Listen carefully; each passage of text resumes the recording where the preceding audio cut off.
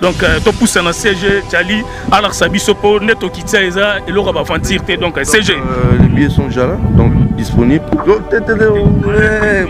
oboyi na biso basecret na biso donc babie déjà yango donc ekomi mm. vip déjà to lancé vente yango déjà lobi bamona bato baleka baémission mm. bakopesa bapoint de vente ya babie vip déjà mm. et puis une semaine après tobandi na vente ya public ke lelo nde biso toyaki mpo toconfirme donc lelo eza confirmation me ngai naosenga kaka na baspiritas tout jour wana il faut bozala na ba père noël na mutu mm. donc stade oyo etondama na rouge blanc na mutu mpo mm. jour wana eza symbolique mbotama ya jésus christ donc boya mpe bafana maison mare nazolela bango esikoyo mabe mpo anniversaire ya leroy de la forêt sikoyo bafete wapi jouera de croix rouge jouera des ambulances ambulance mpe kozala nyonso ekozala na bokasi ya ministre na biso ya santé jean claude mbungani bacroix rouge baza bacroix rouge baza donc euh, bakosala boulot na bango donc bato baya na bana baya na batablette baya mpena koyoka musique live spectacle son lumière ndega tolingaka kaka baya le 25 décembre sécurité très assurée donc bino bomoni toyaki na baagent sécurité oyo totravaille na bango toyaki mpo tolandela bamakambo nyonso mpo ke bato bazala bakokota malamu bakobima malamu donc voilà tomoni présence ya sénateur paul otul awa nayebi te bato ebele bazoloba ye nde producteur ye nde nani ou bien mpo na organisation ya le 25 décembre héritier watanabe bon aye kobakisa mwa touche na ye ya ya Angola ayera obakisa mo eloko mo boye mais ça va toza naye aza na biso na coordination ele oyo bakoya concert héritier watanabe le 25 décembre ça c'est confirmé c'est confirmé euh, le 25 décembre na stade de martyr concert héritier watanabe comme euh, nazoloba toujours que venez nombreux et vous allez voir ce que l'histoire retiendra. Hein? Tu vois, eh, vous comprenez mon nom Donc euh, c'est un peu ça. Donc euh, l'histoire de awa na kati ya stade oyo parce que angolais oyo tali boko nango alors eloko nyonso eza na signature angola ezalaka un peu grave quoi parce que angola na rdc na ede pays voisin nakasa na baactivité nyonso basalaka cohésion ezalaka toujours kitoko elekaka très bien yango cohésion oso ye na tire yango omoni ke eh, bakendaka kuna ya mbala oyo biso sikoyo toye awa mpona kotya signature donc euh, rendez-vous eza le 25 décembre na stade de martyr boya awa basurprise oyo omonaka na mosika bokofifre yango bazotuna présence ya sénateur paul otudulu awa na concert rite watanabe eza mpo na nini mpo toyebi ke Parti c'est mission na biso oyo bengisa bango na Angola en tout cas eza fierté mpo na mboka na biso ti babetaka na Angola en tout cas ngai naza moto ya liboso oyo na felicitaka yo présence na or na stade de martyr mpo na organisation visite héritier watanabe eza mpo na nini présence na ezalaki très intelligent parce que ngai nabengaki l'artiste intelligent apréfère abenga le producteur intelligent euh, omoni euh, babengaka mingi baprofessionnel non ya préfère abenga professionnel africain comme lui que je suis mpo naya kotia liboko na ngai na kati ya activité oyo donc elingi oloba ke non pour la bénédiction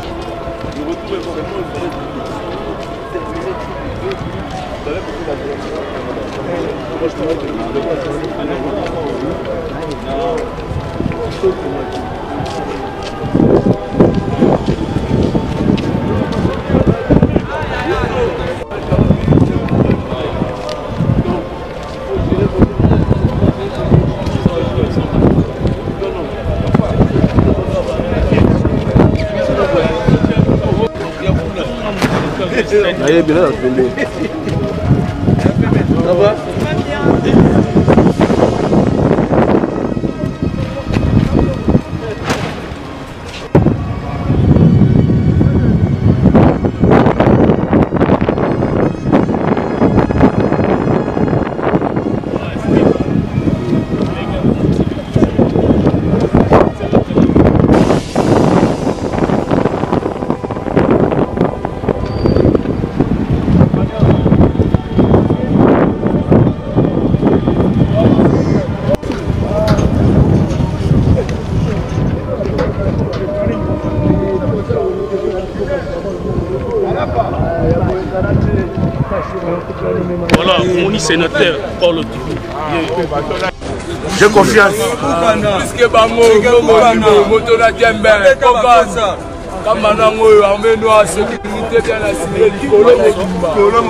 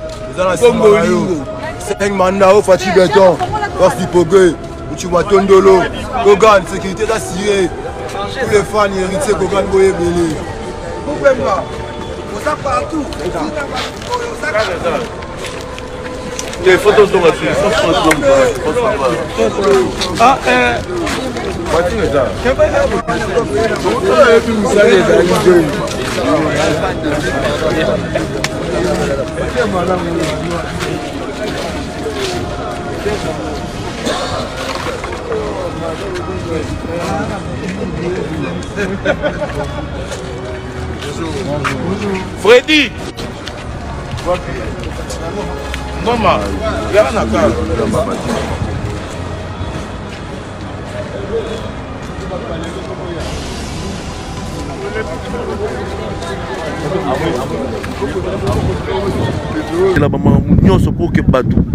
bazala bakokota malamu bakobima malamu donc voilà tomoni présence ya sénateur paul otulilu awa nayebi te bato ebele bazoloba ye nde producteur ye nde nani ou bien ni mpona organisation ya le 25 décembre héritier watanabe bon aye kobakisa mwa touche na ye ya ya Angola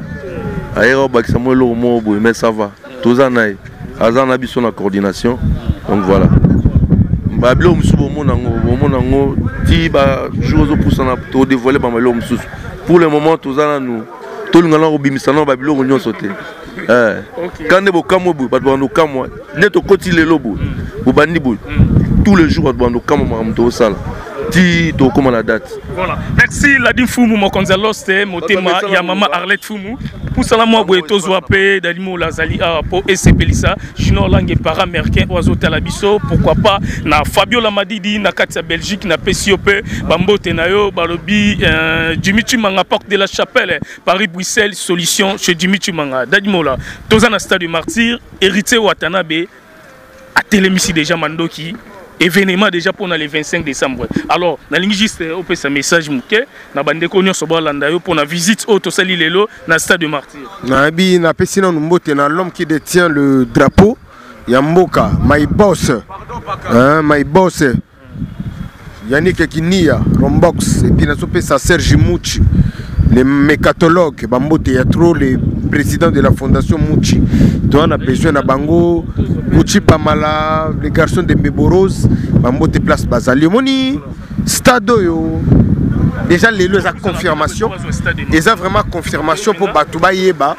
ke lelo nde biso toyaki mpo to confirme donc lelo eza confirmation me ngai naosenga kaka na baspiritas tout jour wana il faut bozala na ba père noël na mutu donc stade oyo etondama na rouge blanc na mutu mpo jour wana eza symbolique mbotama ya jésus christ voilà. donc boya mpe bafan na maison mare nazolela bango sikoyo mabe mpo anniversaire ya le roi de la forêt sikoyo bafete ye eh, wapi mm. donc lelo eza confirmation voilà. on est venu juste vous informer que makambu eza tellement bien eza kutu donc euh, makambo donc nayebi te donc quoi donc nayebi ke na canada pardon na états-unis alex ntima masta na nga aza wana alex ntima ye donc euh, hein aza hein, mutaga mutaga aza wana lino mutaga na canada donc bango motema eza moto moto donc baolinga kaka makambo yango ese réalise quoi donc makambo eza bien en tout cas voilà donc lobi ça francis dibaya nayebi ke toza voilà mesdames et messieurs to continue toujours toza na stade de marti mpona concert ya héritier watanabe le 25 décembre a na stade de marti nde bato ebele balobaki concert eza le 25 bazomona bamouvement ezosalama te yango mpo tolakisa bino bomoni sénateur Paulo mpe ye wana aza kuna donc eh, mesdames et messieurs toza mpe na francis dibaya a ah, mpo topeselaka mpo visite oyo bandeko baye ebele délégation ya ndenge na ndenge mpo na koconfirme mpenza ke le 25 décembre 9 gis porte ekofungwama héritier watanabe tour de contrôle donc tokozala awa mpo tosoutenir vraiment tour de contrôle héritier watanabe francis dibaya toza na stade marti masolo mpenza ebandi nde lelo ouais donc euh, masolo ebandi déjà lelo parce que toanonsaki bango déjà date donc tokobanda bongo te bambote nanu na ye moko el diablo le 007 héritier watanabe le dernier fils voilà. le dernier fils motu aoya mpena sikoyo beta martyr baoyoka musique toanonsaki bango date le 25 mai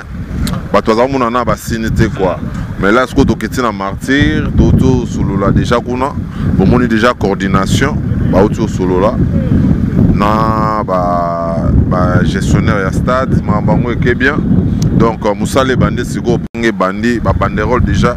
ebandi omata parci par là bientôt bakomona bapanneau promotion nyonso eleka bien quoi voilà. voilà merci merci français libaya tozwa bandeko baza ebele toli tolobisa lobisa mpe bato déjà lobi ye orchestre ezozwa avion mm. mpo na afrique du sud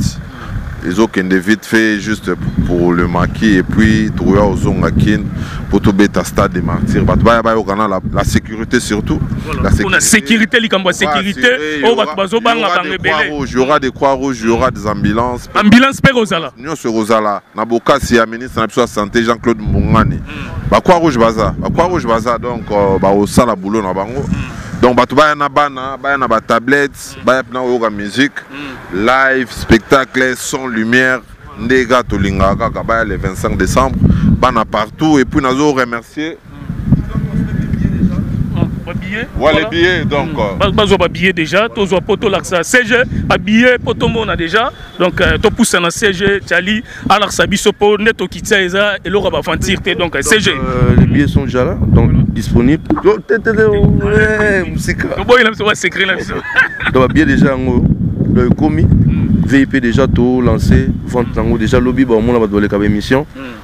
bakopesa ba point de vente euh, ya babie vip déjà et puis une semaine apres tobandi na ya vente ya public bato baoyeba déjà baplace babie kotekama makambo voilà mm. ouais. alors c'est généralie kaka juste obakisa mpo na sécurité oyo bato ebele bazobanga baambulance bolala pongi mm. toza vraiment kosala tout pour que makambo toleka très bien Cote securite en tout cas double double biloko nyonso donc bato baza kimia eloko mwa mabe oleka eza te donc toza kuta communion na public wana donc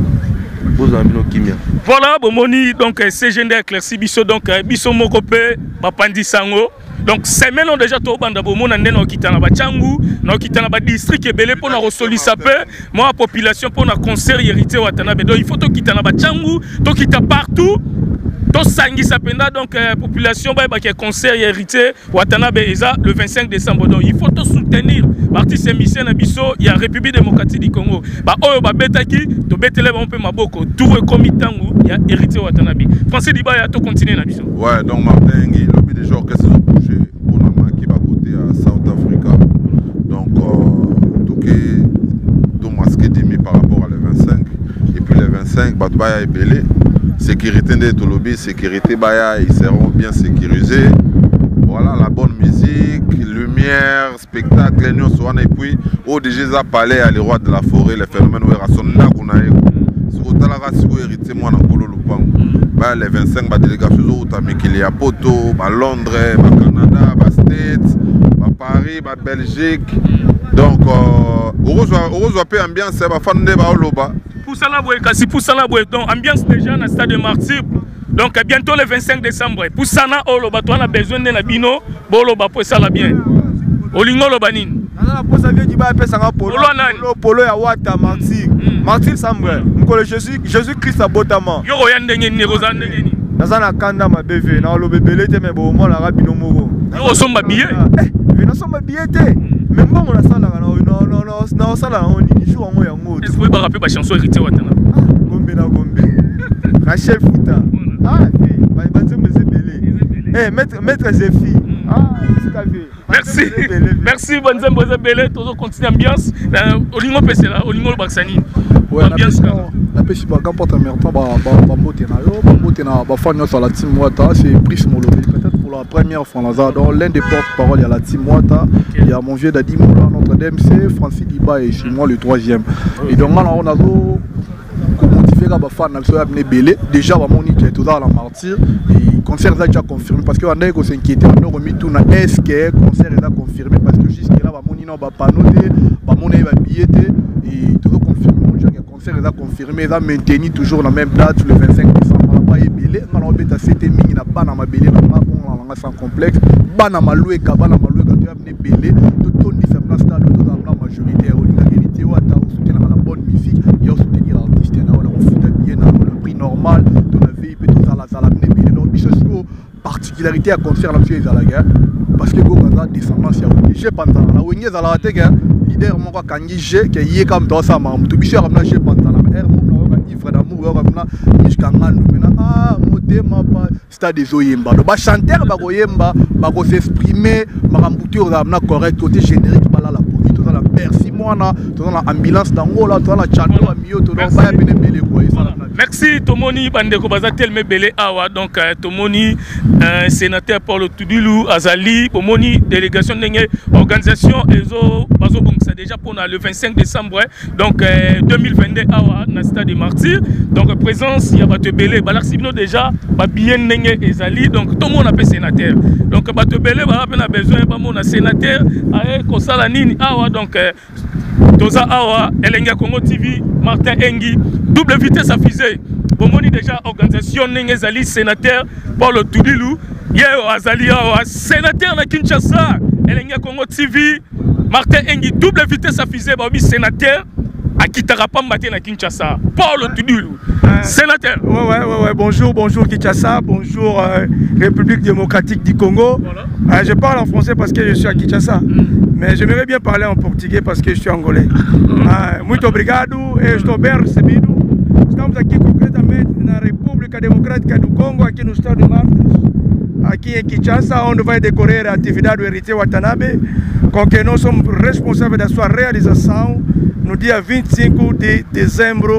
aki un kinshasa oyoki lobela bango siko na lingala mpo bamama oyo baza na bamaluku baza na nsele oyo bakoya concert héritier watanabe le 25 décembre c'est confirmé c'est confirmé euh, le 25 décembre na stade de martyr concert héritier watanabe comme euh, nazoloba toujours que Venez nombreux et vous allez voir ce que l'histoire retiendra. Hein? Tu, euh, vous comprenez mon nom Donc euh, c'est un peu ça. Donc euh, histoire ekolobamande awa na kati ya stade oyo mm. parce que angola eyotia liboko nango mm. alors eloko nyonso eza na signature angola ezalaka un peu grave quoi parce que angola na rdc ezali deux pays voisin na kanisa na baactivité nyonso basalaka cohésion ezalaka toujours kitoko elekaka très bien yango cohésion mosu ye na culture yango omoni ke euh, bakendaka kuna ya mbala oyo biso sikoyo toye awa mpona kotya signature donc euh, rendez-vous eza le 25 décembre na stade de martyr boya awa basurprise okomona na mosika bokofifre yango bazotuna présence ya sénateur paul otudulu awa na concert rite watanabe eza mpo na nini mpo toyebi ke parti semisien na biso oyo ebengisa bango na angola en tout cas eza fierité mpo na mboka na biso ti babetaka na angola en tout cas ngai naza moto ya liboso oyo na felicitaka yo présence na awa na stade de martyr mpo na organisation visite héritier watanabe eza mpo na nini présence na ezalaki très intelligent parce que ngai nabengaki l'artiste intelligent mm. apréfère abenga le producteur intelligent euh, omoni euh, babengaka mingi baprofessionnel ba non ye apréfère abenga professionnel africain comme lui mm. que je suis mpo naya kotia liboko na ngai na kati ya activité oyo mm. donc euh, elingi oloba ke non la bénédiction professionnalisme nini tokosalama a le tozosala émission mbula ebeta ah, makasi mbula mbula héritier wa talabe donc cela veut dire que alingaki liboko ye professionnel ezala cela veut dire bokomona réalité yango nde awa jour ya le 25 bokomona pourquoi je suis venu ici à kinshasa mpo na kosala activité oyo ya héritier watanabe oyo ba réalité ya le 25 ladi fumu ladi fumu mokonzi aloste motema ya mama arlette fumu merci